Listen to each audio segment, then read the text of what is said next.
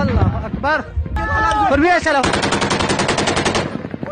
د ایراني ځواکونو تېښته او د پوستې سقوط کېدل د نیمروز د جګړې تازه جزئیات راغلل هم دې ویډیو کې وګورئ او چینل سبسکرایب کړئ نیمروز کې د طالبانو او ایراني ځواکونو ترمنځ د روانې جګړې تازه جزئیات دا دي چې د طالبانو تازه دمو ځواکونو رسیدلو سره ایراني ځواکونو ماته خوړلې او یوه پوسته هم سقوط شوې چې ایراني ځواکونو له یادې پوستې څخه په تیښته بریالي شوي دي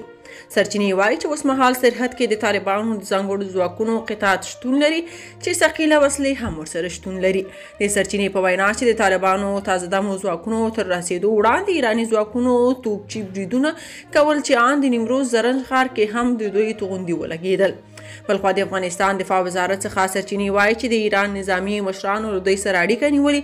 او د جګړې د ورلولو وړاندیز کړی ده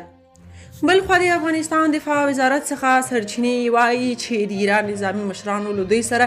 اړیکه نیولې او د جګړې د ودرولو وړاندیز کړی خو طالب مشرانو تر اوسه په دې اړه ورته مثبت ځواب نه دی ورکړی سرچینې وایي چې یاده جګړه کې ایراني لوري ته درانه تلفات هم اوښتي دي دا جګړه په داسې حال کې ترسره کیږي چې د څو ورځو راهیسې ایراني ځواکونو غوښتل چې په صفري نقطه کې دیوال جوړ کړي خو طالبانو ورته اجازه نه ورکوله او دواړه لوري ګوتې په ماشې ناسول نیمرو څخه ځایي سرچینې وایي چې د ایران توغندیز بریدونو کې یو شمېر ملکیان ټپیان شوي هم دي چې نږدې د زرنج مرکزي ښار روغتون ته راوړل شوي د یادونې وړ ده چې د څو ورځو راهیسې ایراني چارواکو د اوبو پر سر طالب چارواکو ته اخطارونه ورکول چې ښکاري اوس د سرحدي نښتو پایله شوه